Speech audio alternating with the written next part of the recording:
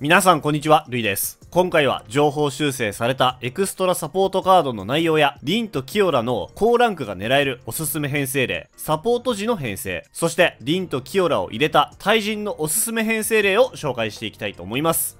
まずは情報修正の内容から見ていきたいと思います。今回情報修正されたのは、エクストラサポートカードのガゼンと死んでも癒すね、そしてサポートカードの未来へ行けるの3枚となっています。ガゼンの内容は、スペシャルレクチャージボーナス最大100%だったものが、最大140%に変更されています。そして、死んでも癒すねは、スペシャルレクチャージボーナス最大140%だったものが、なんと160%に変更されました。さらに、特殊能力も追加されています。死んでも癒すねをレベル100にした上で、1の3が発生すると、追加で専用の金スキル、フェイクが獲得可能になっています。練習メニューカードの内容も変わっていますね。白紫 EX カードが金カードの8倍だったんですけど、これが金カードの12倍のステータス上昇に変更されています。ラン EX カードは金カードの13倍のステータス上昇だったんですけど、こちらは金カードの16倍のステータス上昇に変更。そして、サエ EX カードが金カードの15倍だったんですけど、これが金カードの18倍のステータス上昇に変更されました。もともと強かったんですけど、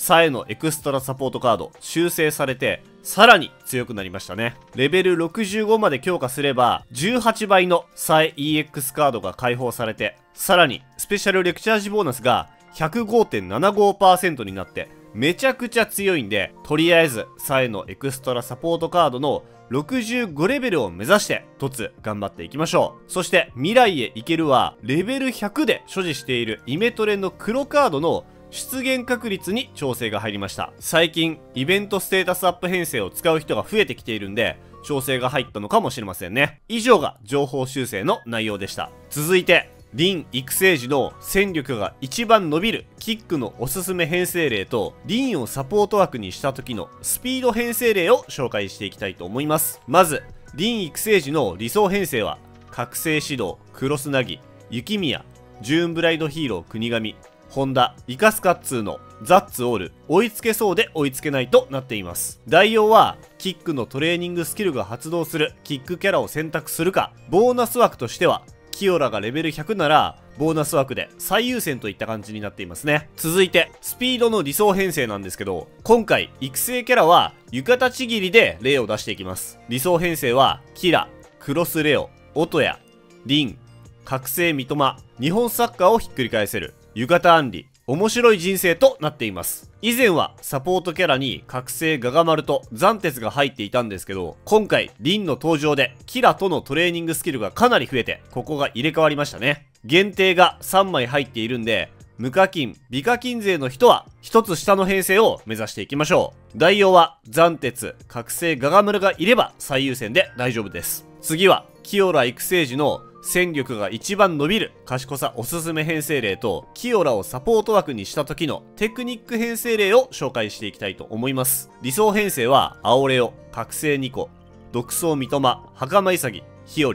ワールドクラスの証明浴衣アンリクーンダあいつをとなっています。この編成例は限定が5枚とかなり多く編成難易度が非常に高くなっているんで無課金美課金税の人は下の編成を目指していきましょう。カラス、覚醒2個、周年輪、日和、フレンド枠は、袴潔、または独走三笘、そしてサポートカードが、潔バチラ、下手くそ、クーンダあいつをとなっています。フレンド枠の選び方は、トレーニングスキルが高くなる方で大丈夫です。続いて、キオラをサポート枠に入れたテクニックの最新編成例の紹介です。今回、育成キャラは、ハッピーバチラを例にしていきます。理想編成は、カラス、キオラ、覚醒オシャ、浴衣なぎ、キューミトマ、サポートカードはあんた間違ってるよ、生まれる国、ウェドネスデイとなっています。限定は2枚と編成難易度は低めになっているんで、もし限定枠を自分で用意できない人は、フレンド枠で借りるか、代用キャラの中から選択していきましょう。次は、リンやキオラを入れた対人のおすすめ編成例の紹介です。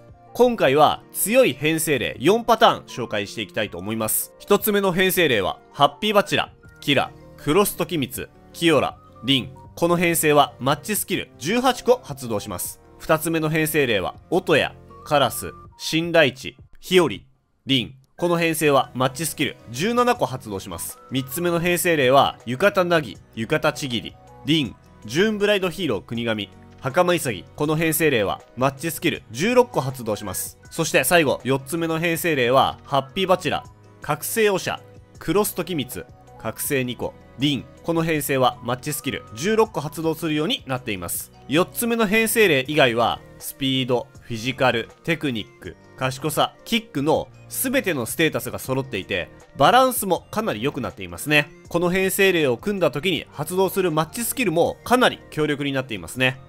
例えば、こちらは、スキル発動時のセカンドボールの競り合いに限り、自身がマイボールにする確率を大きく上昇させる。さらに、しばらくの間、自身の突破成功率が大幅に上昇。続いて、こちらは、試合開始時、しばらくの間、自身のキックとシュート成功率が上昇。また、自身以外の味方全体のクロスを上げる確率を上昇させて、自身のシュート実行率を大幅に上昇させてくれます。そして最後、こちらはスキルが発動するとパスを受けた後、一定時間自身の突破成功率、クロス実行率を上げ、相手チームのシュートブロック成功率を下げてくれます。さらに、試合終了まで自身のスタミナを大きく上昇させてくれるといった能力となっています。以上が新キャラを含めた対人おすすめ編成例の紹介でした。ランクマッチ、クラブマッチ、リーグマッチなどでこのおすすめ編成例を組めば勝率アップすると思うんでぜひ試してみてください。最後にガチャ動画撮っておいたんでそちらを流して終わろうと思います。最後までご視聴ありがとうございました。良ければチャンネル登録と高評価よろしくお願いします。